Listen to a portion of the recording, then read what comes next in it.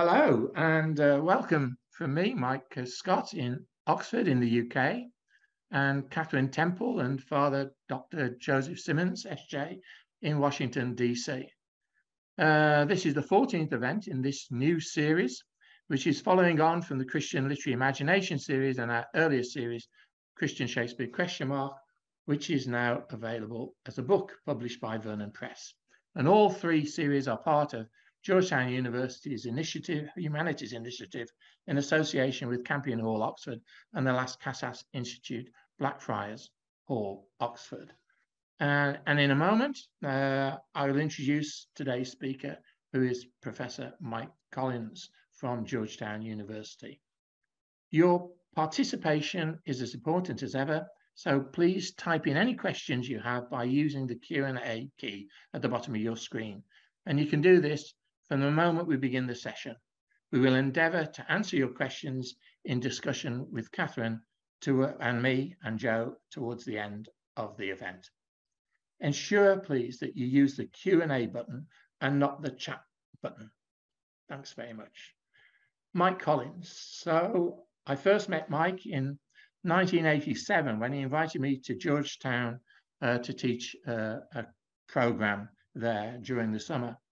And we immediately recognized a similarity in our approach to literature, theatre, and especially uh, Shakespeare.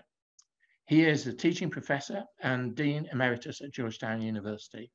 Among his publications are essays on Shakespeare in honor of Stephen Booth, Shakespeare's Sweet Thunder, essays on the early comedies, and with Francis Ambrosio, text and teaching the search for human excellence.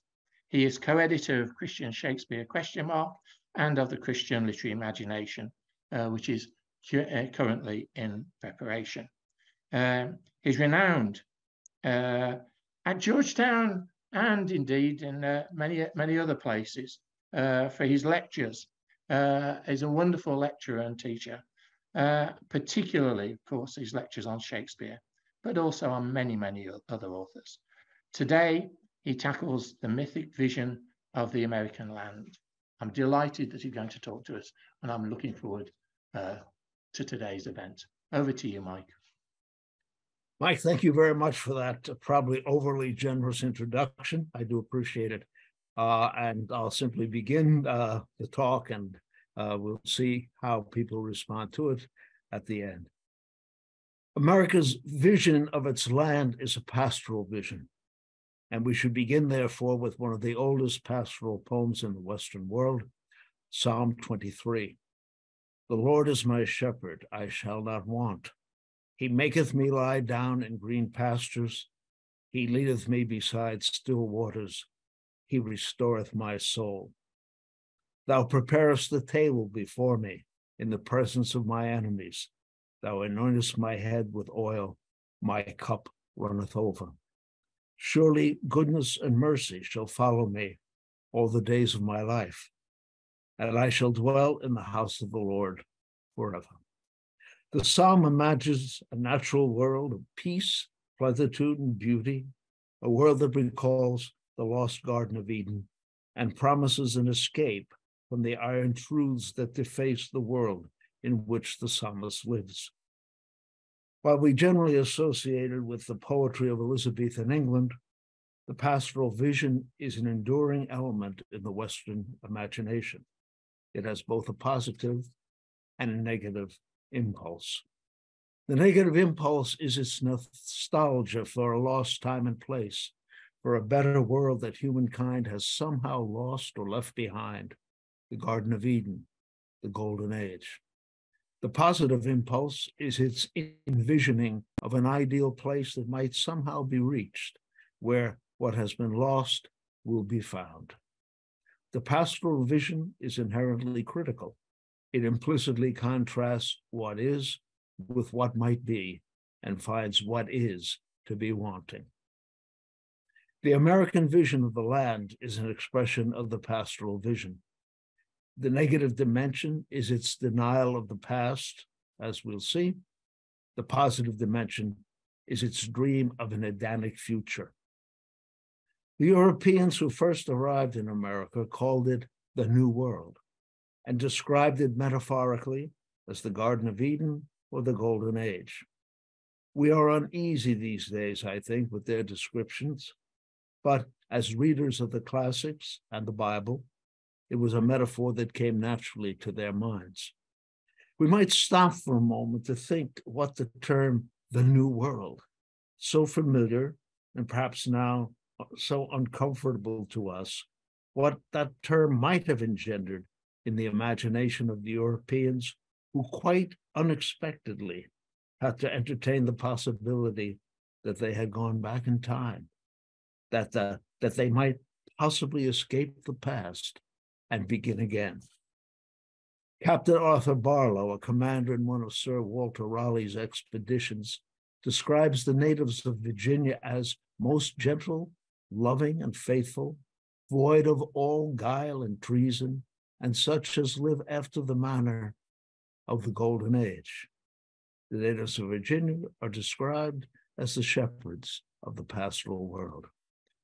Or listen to the historian R.W.B. Lewis as he describes the discourse in America at the beginning of the 19th century about a new world and its possibilities. Unlike the Roman myth, which envisioned life within a long, dense corridor of meaningful history, the American myth saw life and history as just beginning. It described the world as starting up again under fresh initiative in a divinely granted second chance for the human race after the first chance had been so disastrously fumbled in the darkening old world. Our national birth, declaimed the Democratic Review in 1939, was the 1839 was the beginning of a new history, which separates us from the past and connects us with the future only. R.W.B. Lewis goes on the new habits to be engendered on the American scene were suggested by the image of a radically new personality, the hero of a new adventure, an individual emancipated from history, happily bereft of ancestry, untouched and undefiled by the usual inheritance of family and race, an individual standing alone, self reliant and self propelling, ready to confront whatever awaited, awaited him with the aid of his own unique and inherent resources. It was not surprising in a Bible reading generation that the new hero, in praise or disapproval, was most easily, easily identified with Adam before the fall. For Adam, the world and history lay all before him. If the American imagined as the new Adam could begin human history again, the world in which he inhabited, the starting place, was a new Eden.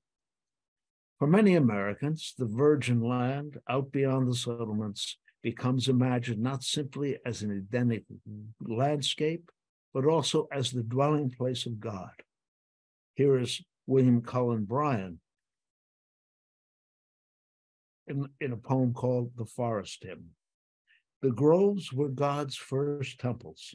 Ere man learned to hew the shaft and lay the architrave and spread the roof above them, ere he framed the lofty vault to gather and roll back the sound of anthems in the darkling wood, amid the cool and silence, he knelt down and offered to the mightiest solemn thanks and supplication. I skip a lot of lines now, but thou art here, addressed now to the divine, to God. Thou fillst the solitude. Thou art in the soft winds that run along the summit of these trees in music. Thou art in the cooler breath that from the innocent darkness of the place comes, scarcely felt. The barky trunks, the ground, the fresh, moist ground are all inst- instinct with, uh, sorry, the ground, the fresh felt ground are all instinct with thee. Here is continual worship.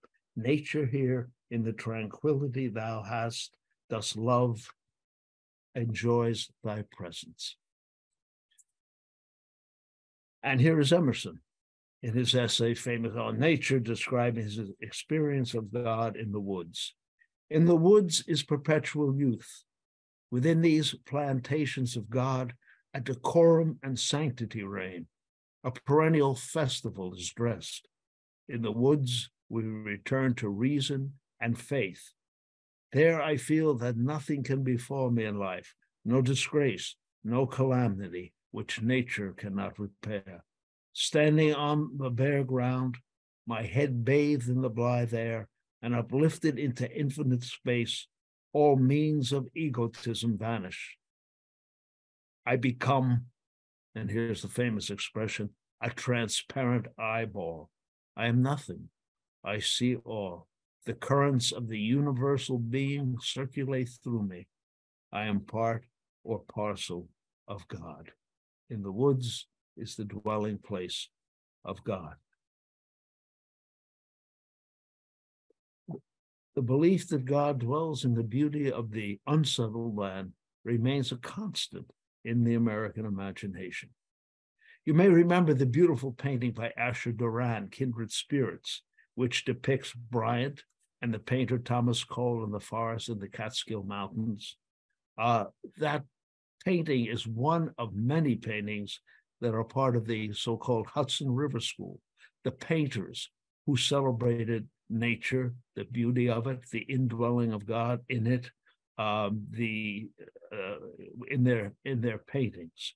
Uh, they too painted the landscape with a kind of Edenic vision uh, shaping what they did.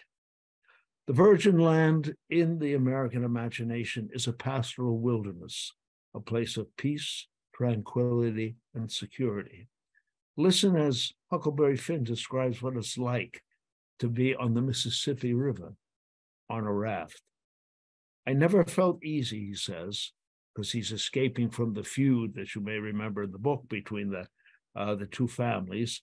I never felt easy till the raft was two miles below there and out in the middle of the Mississippi. Then we hung up our signal lantern and judged that we was free and safe once more.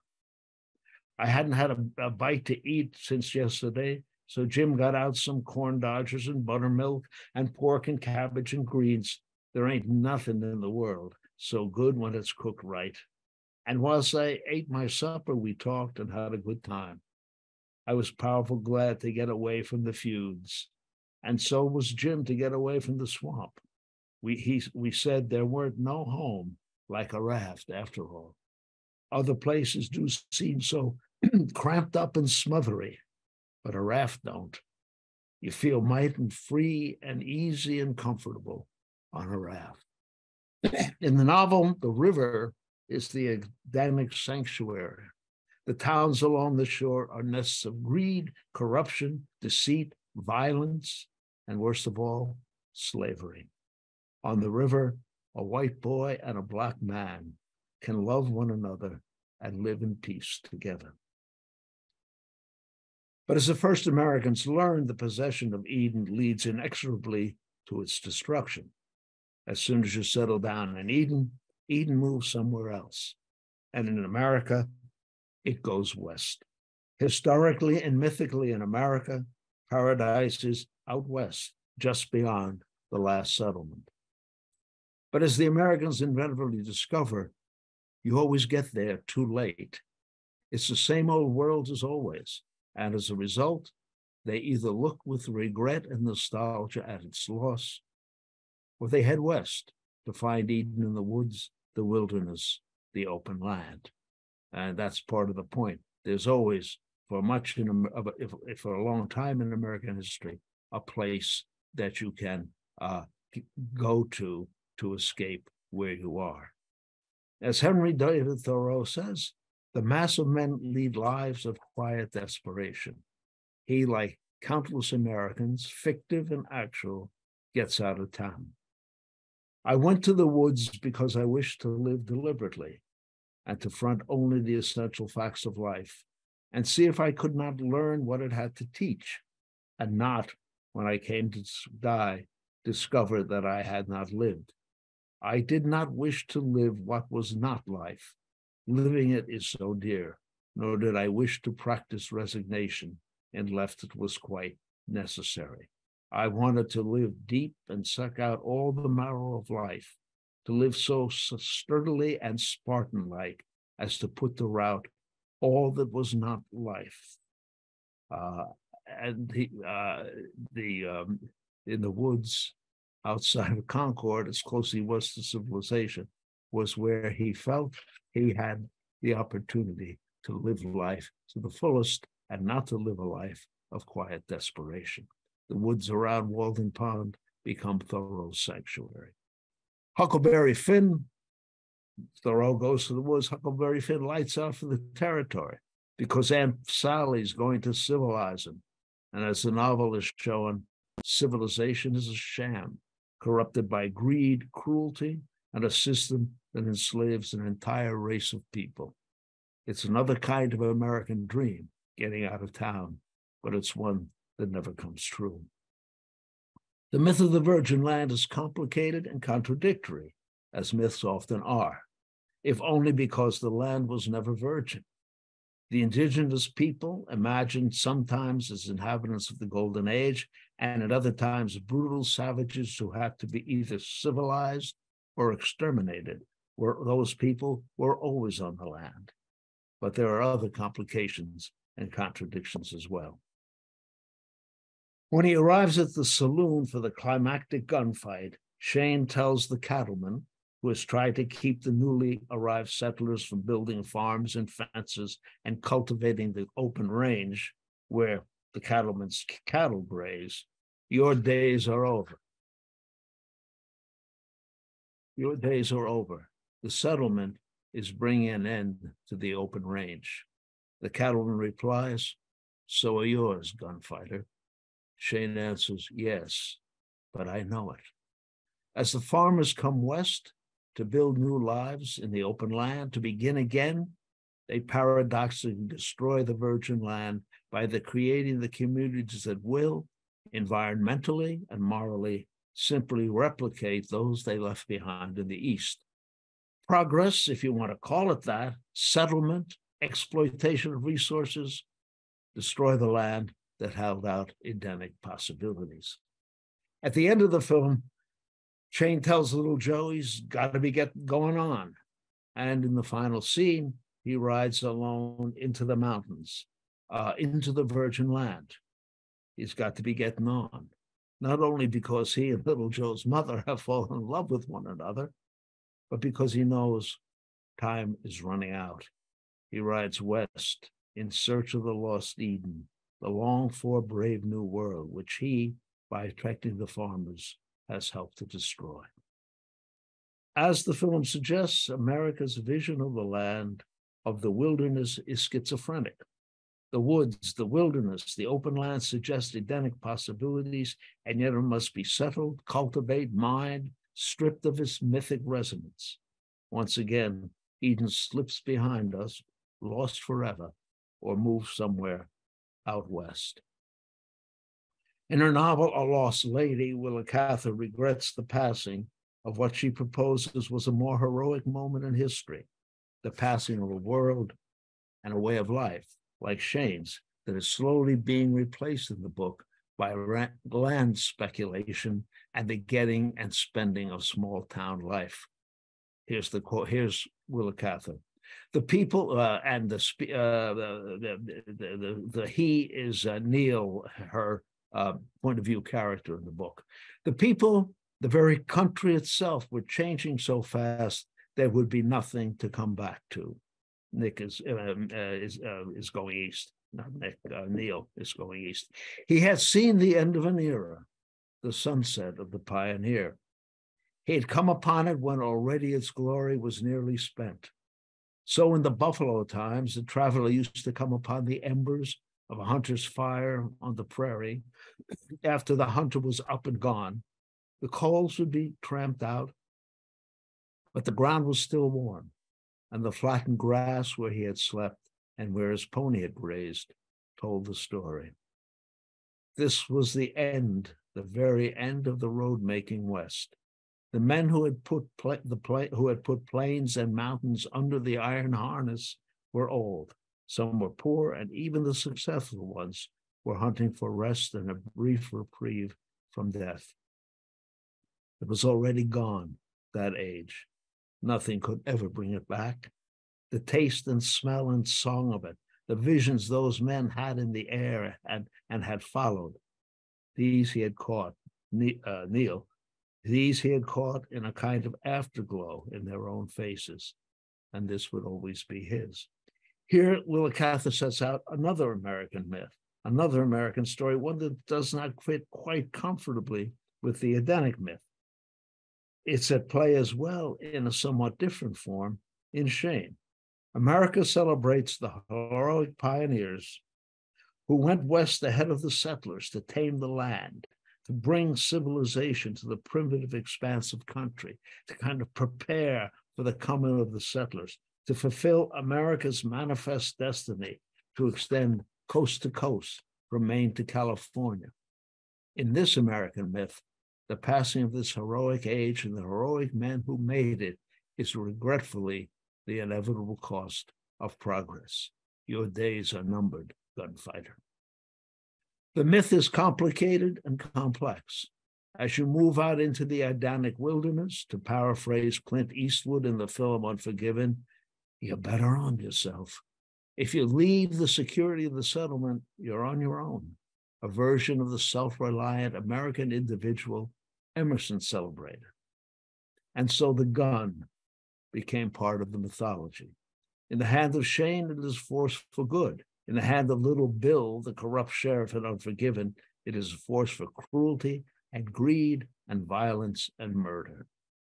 Just as we hear today, those self reliant American settlers had to arm themselves to protect family and property when the law was when the law was lax, corrupt, or non-existent out in the wilderness. I'm quoting now from the uh, Supreme Court decision, District of Columbia versus Heller, 2008. Every late 19th century legal scholar that we have read, meaning the court, the members of the court that we have read, interpreted the Second Amendment to secure an individual right unconnected with militia service. Guns in the hands of self reliant Americans have been part of the American tradition, part of the mythology of the land, and the rugged individuals who settled and tamed it. But despite its contradictions, despite its obvious falsity, if you like, the myth of the Edenic land is deeply rooted in the American imagination. Ernest Hemingway's great novel of the First World War is set in Italy, but it is shaped by its American author's Edenic vision of the land. When Henrik Frederick Henry goes on leave early in the novel, he goes to the bars and brothels of the city, or you know, though he knows the sacred place is in Cap- Capracotta, the, the countryside where the priest of the novel lives. At Capracotta, he told me, there were trout in the stream below the town. It was forbidden, it's a pastoral vision. It was forbidden to play the flute at night. When the young men serenaded, only the flute was forbidden. Why, I had asked. Because it was bad for the girls to hear the flute at night. The peasants all called you Don, and when you when you met them, they took off their hats. His father hunted every day and stopped to eat at the homes of the peasants. They were always honored. For a foreigner to hunt he must present a certificate that he'd never been arrested. There were bears on the Gran Sasso d'Italia, but it was a long way. Aquila was a fine, Aquila, sorry, was a fine town. It was cool in the summer at night, and the spring in Abruzzi was the most beautiful in Italy. But what was lovely was the fall to go hunting through the chestnut woods. The birds were all good because they fed on grapes, and you never took a lunch because the peasants were always honored if you would eat with them at their houses. At that point, he started to fall asleep and going back over what the priest told him. But you see, it's a pastoral vision of, of the work of the of the country, the city, bad, the countryside, the un the, the open land, even Italy, the good things. Later in the novel, as the Italian army disintegrates after its defeat at Caporetto. Uh, Frederick leaks into the Frederick Henry, the hero, leaps into the Tagliamento River to escape the Carabinieri, who are absurdly shooting Italian soldiers. He emerges from the river, as he puts it, washed free of obligation, free of the past, an American Adam in Italy, and he takes Catherine, his pregnant girlfriend, to the mountains of Switzerland. And in the mountains, they find peace and love, Adam and Eve in the garden. When they have to come down from the mountain, return to the city where Catherine will give birth, the Edenic moment ends, and Catherine dies in childbirth. While set in Italy, a farewell to arms is shaped by, Amer- by an American imagination. As Eliot wrote, in the mountains, there you feel free. In Annie Proulx's novel Brokeback Mountain, Ennis Del Mar and Jack Twist fall in love during a summer in a mountain pasture, herding, significantly, sheep. In Proulx's version of the pastoral story, they share an idyllic summer together. But then, when they come back down from the mountain of the fall, they leave Eden behind and are never again able to repeat the past to recapture their Edenic, Edenic moment on the mountaintop. And here is Robert Frost, American so called pastoral poet, recognizing the same distinction of settlement and wilderness, of restriction and freedom that Thoreau and Mark Twain did in the 19th century, and Hemingway and Proulx did in the 20th. It's a poem called The Lone Striker. The swinging mill bell changed its rate to tolling like the count of fate, and although at that the tardy ran, one failed to make the closing gate.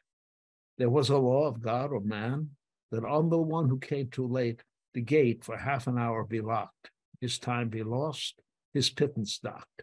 He stood rebuked and unemployed. The straining mill began to shake. The mill, though many eyes, and many, many eyed, had eyes inscrutably opaque, so that he couldn't see, look inside to see if some forlorn machine was standing idle for his sake. He couldn't hope its heart would break. Uh, the factory, of course, is a messianistic and in some ways dehumanizing place. Ha, he knew another place, a wood, and in it tall, tall as trees were cliffs. And if he stood on one of these, it would be among the tops of trees, their upper branches round him wreathing, their breathing mingled with his breathing, if, if he stood. Enough of ifs. He knew a path that wanted walking. He knew a spring that wanted drinking, a thought that wanted further thinking, a love that wanted re renewing. Nor was this just a way of talking to save him the expense of doing. With him, it boded action, deed. The factory was very fine. He wished it all the modern speed. Yet, after all, 'twas not divine. That is to say, 'twas not a church. He never would assume that he to be any institution's need, but he said then and still would say, if there would ever come a day when industry was like to die because he left it in the lurch, or merely seemed to pine for want of his approval, why? Come and get him. They knew where to search. And finally, now we come to the Great Gatsby. The novel, the novel, the novel, although it is set in New York, it dramatizes through a love story, America's search for the lost Eden. Pardon me. Although she seems scarcely able to live up to Gatsby's dreams of her, as the story begins, Daisy Buchanan has become for Gatsby the embodiment of a golden world, a lost Eden. Although his friend Nick tells him he can't, Gatsby wants to repeat the past, to return to the idyllic time that he and Daisy, Adam and Eve, spent in Louisville years ago. In fact, he makes a trip back to Louisville after the war, a metaphoric journey in search of the Edenic moment that has now been lost. Can't repeat the past? Of course you can, says Gatsby echoing the dreams of countless Americans who believed they could reclaim the ideal world of their dreams. At the end of the novel, Fitzgerald makes clear that Gatsby's failed pursuit of Daisy has not simply been the pursuit of wealth and power, it's another American dream, and the, the novel is often read in terms of the American dream and the, the, the Horatio Alger story, but of the American dream of a brave new world. Here's Nick, the narrator of the story, on the night before he was leaving New York to go back significantly to the Midwest. Most of the big store, shore places were closed now, and there were hardly any lights except the shadowy, moving glow of a ferry boat across Long Island Sound. And as the moon rose higher, the inessential houses began to melt away until gradually I became aware of the old island here that, that flowered once for Dutch sailors' eyes, a fresh green breast of the New World. Its vanished trees, trees that had made way for Gatsby's house, had once pandered in whispers to the last and greatest of all human dreams. For a transitory, enchanted moment, man must have held his breath in the presence of this continent, compelled into an aesthetic comp- contemplation he neither understood nor desired, face to face for the last time in history with something commensurate to his capacity for wonder. The myth is complex and contradictory. The plenitude that the first visitors to America celebrated in their reports back to Europe, the fertile beauty of the land they encountered, has made America, in many ways, a wasteful, a profligate country. I think, for example, of James Fenimore Cooper's story of the slaughter of the pigeons in the pioneers, and later the actual slaughter of the buffalo on the prairies. In the pioneers, the whole town turns out to massacre the flocks of pigeons that fly overhead. Thousands of dead and wounded birds lie on the ground when they are done. One man even uses a cannon to destroy more birds than his neighbors. Natty Bumppo is outraged at the useless destruction of the birds. This comes, he says, Natty Bumppo, of course, is uh, Cooper's hero, the, the, the frontiersman, uh, the sort of the prototype of all other American frontiersmen. This comes of settling a country, he said. You see the irony. Here have I known the pigeon to fly for 40 long years. And until you made your clearings, of the, cleared out the woods, there was nobody to skirt or to hurt them. I love to see them come into the woods, for they were company to a body, hurting nothing, being as it was as harmless as a garter snake. Well, the Lord won't see the waste of his creatures for nothing, and right will be done to the pigeons as well as others by and by. It's wicked to be shooting into flocks in this wasty manner, and none to do it who know how to knock over a single bird. They're they're you know they're sloppy, they're unskilled, they, and they slaughter all these pigeons. If a body has a craving for pigeon's flesh, why, it's made the same as all other creatures for man's eating, but not to kill 20 and eat one. Their mythic vision of the land has not prevented Americans from exploiting and destroying the wilderness, its trees and forests, its rivers and streams, its wildlife, and continuing to do so today. It is one of the many tragic ironies that disfigure the history of America. As I wrote these words, the news reports spoke constantly of what they call the crisis at the border. Well, I do not imagine it is a vision of free and open land, a lost Garden of Eden that draws migrants to our southern borders. I would like to ask them, what, by your measure, is the heaven of desire? What is it that you, how do you imagine this new life you are trying to uh, get for yourself? Immigration is another of the American myths, and it too is full of contradictions. But for all its contradictions, America, despite all that it has squandered, America remains for many still a promised land. And I stop there. Thank you. Thanks, uh, thanks, Mike. That was uh, that was great. That was great. Um, I've uh, uh, Joe, Joe, and uh, I think Catherine are uh, coming on to discuss to discuss this uh, this with you. Can I can I start, Mike, by just um, just wondering about the um, the concept that you've been talking about of constantly going west, moving, moving, moving west. But in a sense, that's what had happened. What had happened with England, hadn't it? That that we'd had people moved west, moved to the uh, moved to the promised land because of the claustrophobia of of England itself, and even in England, as we found out in Shakespeare's time, and uh, you had the enclosure of the land. You had exactly what you talk about happens later on as soon as they've, they've got to America. Yeah, well, uh, first I, I, I deliberately avoided the Puritans, who of course come to the New World uh, and uh, kill a bunch of kill many of the indigenous people. Come to the New World to establish God's kingdom on earth.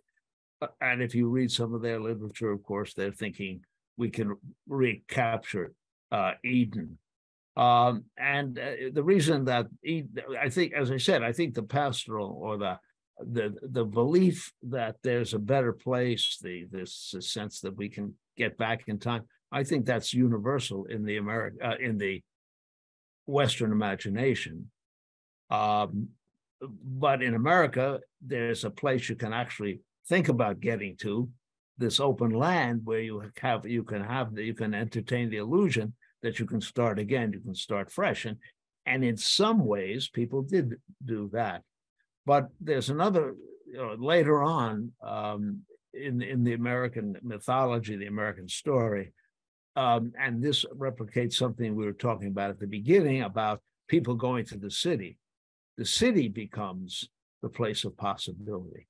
Uh, in in writers like well Hemingway, Sherwood Anderson, the idea is to get out of town because small town life is is confining and and, and repressive, get to the city.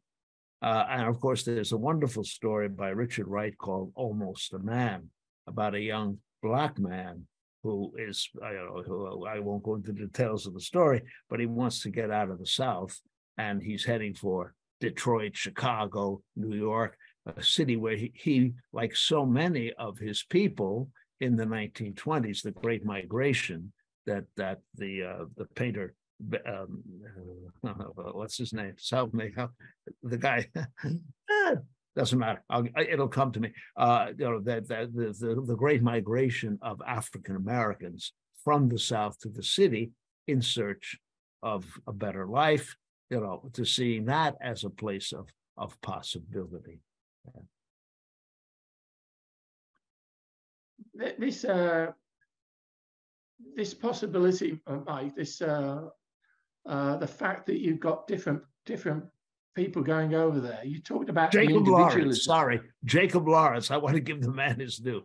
Jacob Lawrence, a series called the so-called migration series. Okay, go ahead, Michael. I'm sorry. You got the you got the individualism uh, that you talk about, but of course, there's also the kind of community. You know, in a, uh, of particularly in the nonconformists uh, religion. You, there seems to be a, a, a two two ways of looking at it. The first is that they, they set up communities within within within America and within America, but you're also saying that there, there's a sense of individuality as well. I, I would say that at least uh, I said many a times in, in, in the classroom on American literature, America celebrates the self-reliant individual in all of the stories. Huckleberry Finn, for example, the the you know um, the, the the good place is outside the community. The Shane's got to be moving on. You can't stay. You can't. You know the Western hero. He he can't settle down and live with a woman. That that's sort of the uh, he he loses his uh, what it what it is that makes him who he, the hero that he is uh, the the force of the mythology in America is always toward the individual, the self-reliant individual, not the community. The community is a place of repression, of of of uh, of convention, of of petty mindedness. The individual is self-reliant and has his has a unique moral vision uh, that is to be you know credited and endorsed. The story begins with that famous American story, Rip Van Winkle. Uh, Rip Van Winkle just wants to be free. He he's easygoing, He's brown bread or white, whatever comes his way. But his wife, now all the women in the uh, I always have to say, I don't make up the myths, I just report on them. women become associated with settlement, order, you know, the school marm who's going to, Aunt Sally who's going to civilize everybody. So Rip Van Winkle successfully escapes. He's the first American who gets out of town. Uh, and with tongue in cheek, Washington Irving kind of celebrates his success. But it's that it's the self-reliant individual who is the, I would argue, is the quintessential American hero. And the town, and you know, the town, the you, you know, the people who live in the town are conventional, small-minded, corrupt sometimes, depending on the story. Thanks for that. Uh, I, I feel as I'm, I'm asking these things from from England, but Catherine, maybe you've got some uh, some comments to make. Well, beyond that. Yeah, I guess I, you know, can't stop thinking about the gun violence issue we have here, and you mentioned it. And yeah. uh, and what I was thinking about when you were just talking about individuality was asking you to talk a little bit about the intersection between that myth and the kind of rejection of community that we're seeing coming from these um you know pro gun pro a what is it? The a15s the ak yeah ak, AK 15 yeah. AK-15s. i mean these these military weapons really. Yeah. Um, well i i couldn't find the quotation when i was looking for it but somewhere along the line uh, and i and that supreme court uh, quotation I gave you was came close to it. Somewhere along, I remember Justice Scalia saying, "You know, the gun and the possession of weapons is part of the American tradition, mm-hmm. so we we don't want to limit that." Um, so that's right. That's that whole idea is deeply embedded in the myth. Now, on the part of discontented people who who think the country is is is going in the wrong direction, uh, you know, and they they they not only privilege their individuality, but they privilege their moral vision. Mm. We're right, the country's wrong, uh, and then they take up their guns and and and and go. Um, it, you know, I, I was as I was thinking about Huckleberry Finn, and Huckleberry Finn, a 13-year-old child, is killed during a, a, a gun battle between two rival families two rival gangs, two rival families, and this little innocent 13 year old kid is killed. How many times do we hear that in the United States? Yeah, mm-hmm. so uh, I mean that's part of the problem, is that the, it, it's it's it's kind of mythologically embedded. It's in the American grain, if you like. Mm-hmm. Uh, and some and and no, you know, I mean everything supposedly is rational and thoughtful and based on precedent, but those myths as I've tried for years to get people to understand, those myths shape the way people act, what they believe, and so on. Yeah. I, I have a right to my gun, you know, uh, that, that because I'm a self-reliant American and I have to protect my family and my property. Knock, knock, who's there? Bang. You know. Yeah.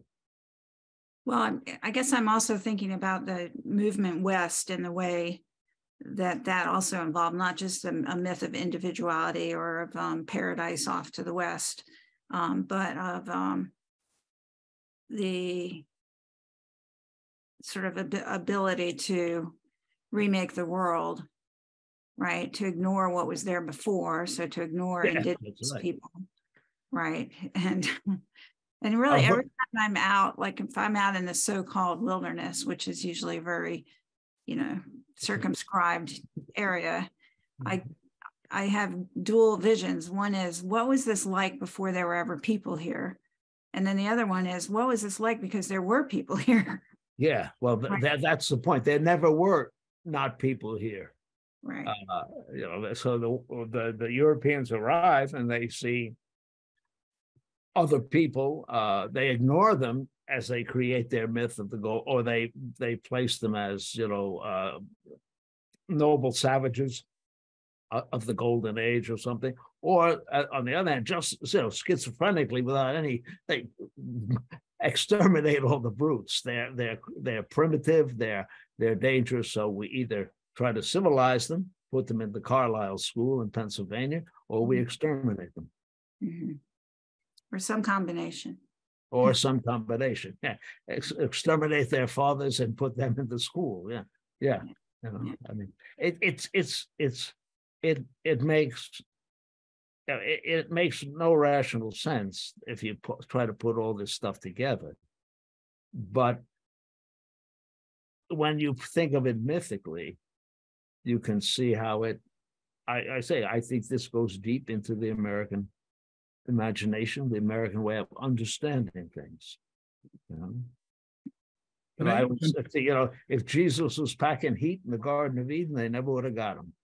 It's it's that kind of you know mythology. It, it, I mean, you know, there's more guns than people in America. Yeah.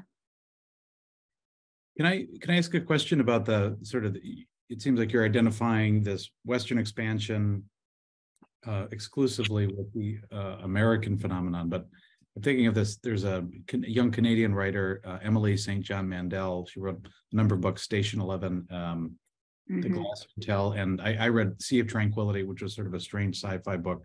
But it's about these Englishmen who were kind of um, the ne'er do well sons of, of English families, wealthy English families that were sent to Canada, actually, and, and kind of found their way west to British Columbia in the late 19th century.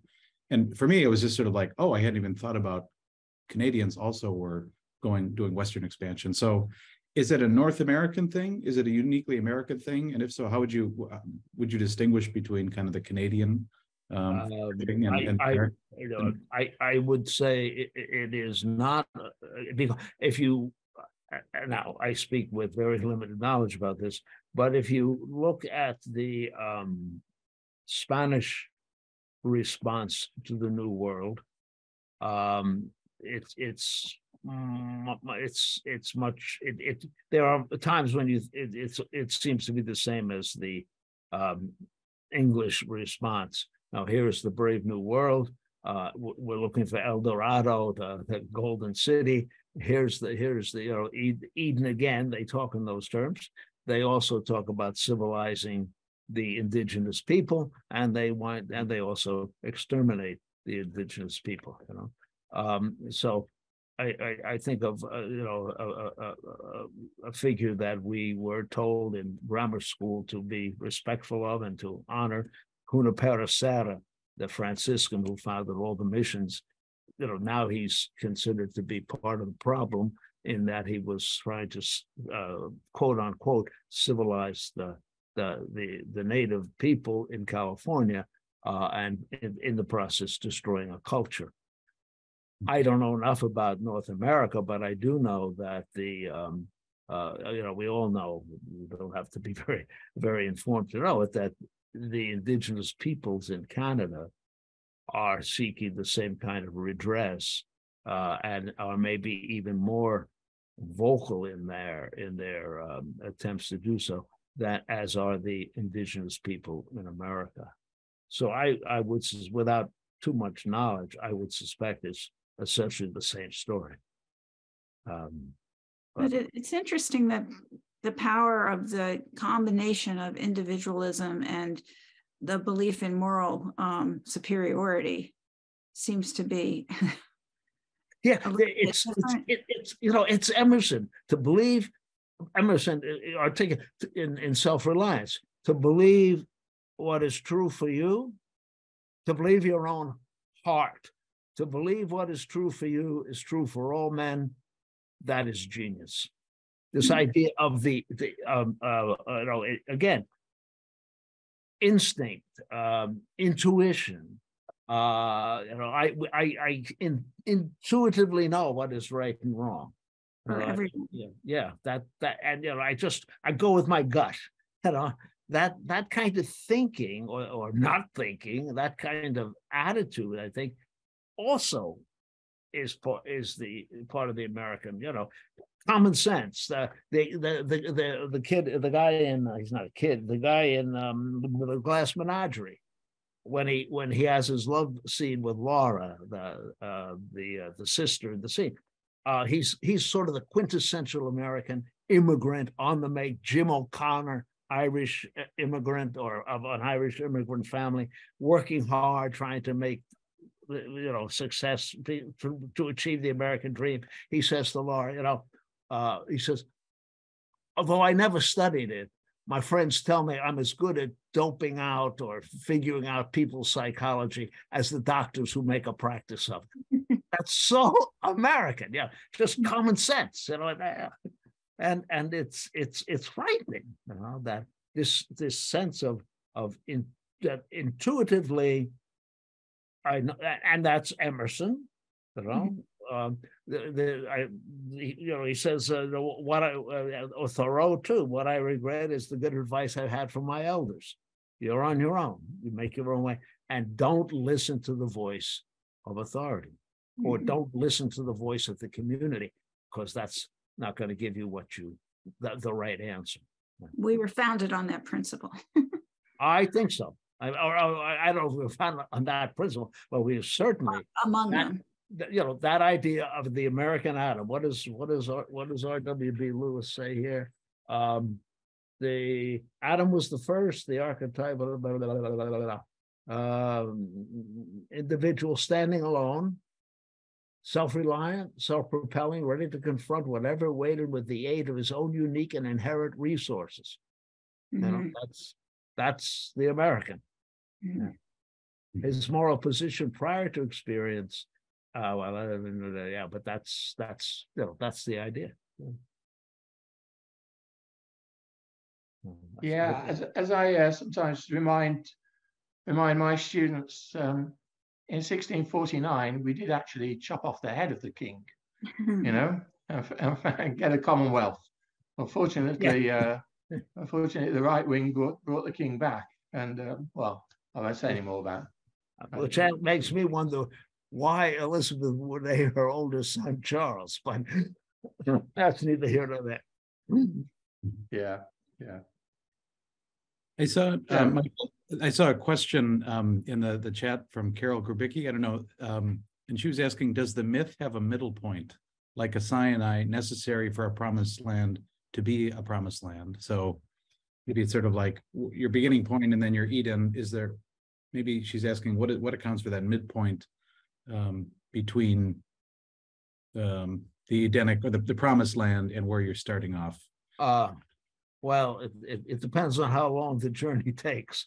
Uh, there, there is, I guess, you know, what I'd say is as soon as you try to reestablish the Garden of Eden in whatever terms, you realize you can't do it. You can't repeat the past.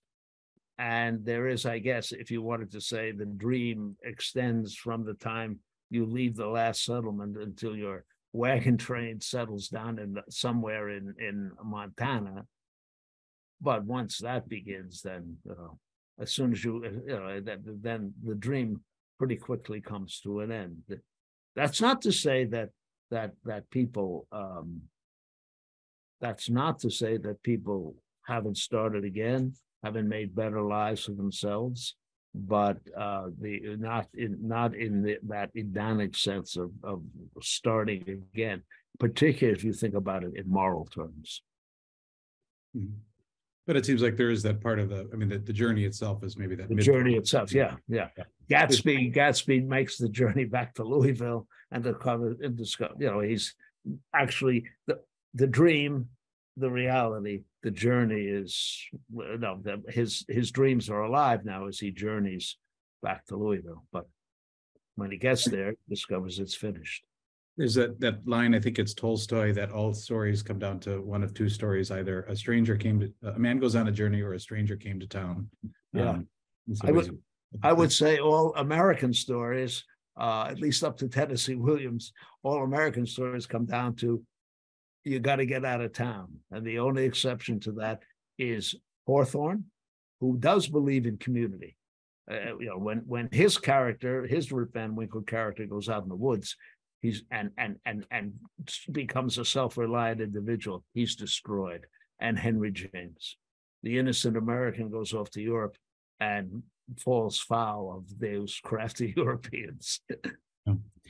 There's one other question, Mike, and this maybe this will have to be the last, and this is from Sue Osler, who's uh, also watching with us. She said, "Do novels such as Little Women or Anne of Green Gables reflect life in America, or they are are they an ideal um, idealization or kind of wishful thinking?" Do you have any thoughts about Little Women or Anne of Green? Um, I would think they're wishful thinking uh, when uh, the, the, the, the, Jo, the, um, the the the oldest of the daughters, winds up in Oberlin and has a happy life, and so on, gets the man she loves, uh, and so on. So the idea is that you know that they do achieve their their dreams do come true, but um, in most of American stories, the story of a woman is the Thelma and Louise story Thelma and Louise try to get out of town, and they can't. The men can. Uh, and when they get out of town, uh, we never hear about them. You know, I'm, Huckleberry Finn says, I'm leaving. And that's where the story ends. It's got to end there. You can't go out with him because you know he's going it's going to be the same thing all over again slavery, cruelty, violence, and so on. But for for uh, in, in the in the movie, Thelma and Louise get out of town and we stay with them. And of course, in the end, they have they wind up having to uh, immolate themselves in one uh, one heroic drive over the cliff because mankind has closed in on them. I mean, the final scene is, is these two women in their car and like 50,000 men with shotguns ready to destroy them. And in American literature, when uh, when the women try to play the man's game, the, I think of the Awakening by Kate Chopin when the women try to play the man's game, they lose. They can't. They can't try to get away. I have I have a little working theory that Marilynne Robinson, whom I write on, uh, she wrote the book Housekeeping, which I'll be talking about next week. A taste of things to come.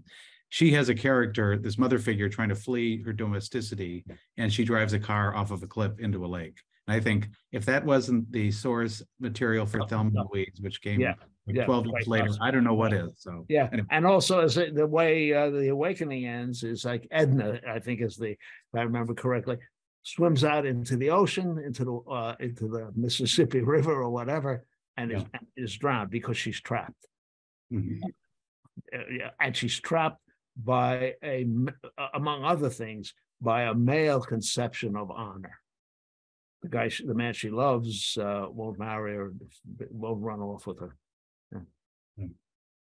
I think at that point, I better uh, bring it bring it to a close, Mike. Um, can I say just, just let me uh, affirm though that uh, I I don't write the story about the women. I only report what I've read.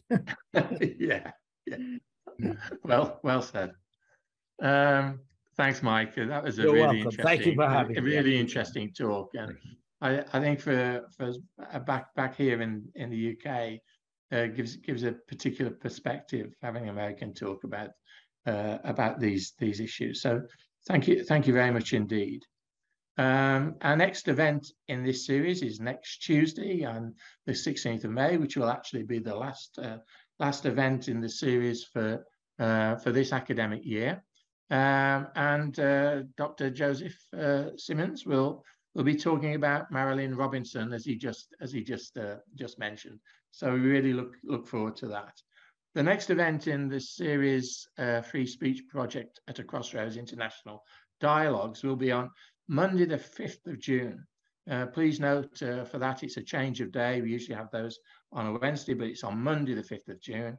Um, and, uh, and it's going to be about democracy in the United Kingdom, which is kind of an interesting uh, subject at the moment, particularly in the wake of uh, the coronation of the king just uh, last Saturday. But um, I think it goes far beyond coronations. It goes to devolution and and and, and other aspects uh, of of British life at the present time. Uh, for today, I'd like to uh, thank those at Georgetown University who have made all these events happen, especially our administrators, Julia Murillo and Mary Gordon, uh, my thanks to, of course, uh, Jack DeGioia, the president, and Tom Banchoff, the vice president, global affairs. At Campion Hall to Nick Austin, uh, the master of Campion Hall, and to Ying Ying, our uh, Campion Hall administrator. At Blackfriars to Richard Finn, the director of the Las Casas Institute, and John O'Connor, uh, our regent. My thanks also to uh, to Maggie, who's uh, who helps me at this side to do the administration here. So uh, please don't forget to join us for the next event, a Beautiful World event on Tuesday, the 16th of May, uh, or uh, or and uh, on Monday, the 5th of June, for our discussion on democracy in the UK. All events are at 11 a.m. EST and 4 p.m. BST. In the meantime, thank you again, Mike. Thank you, Kathryn. Thank you, Joe. It's been a great afternoon. I've really, really enjoyed it. Um, uh, so thanks and bye bye. Keep safe. Bye bye.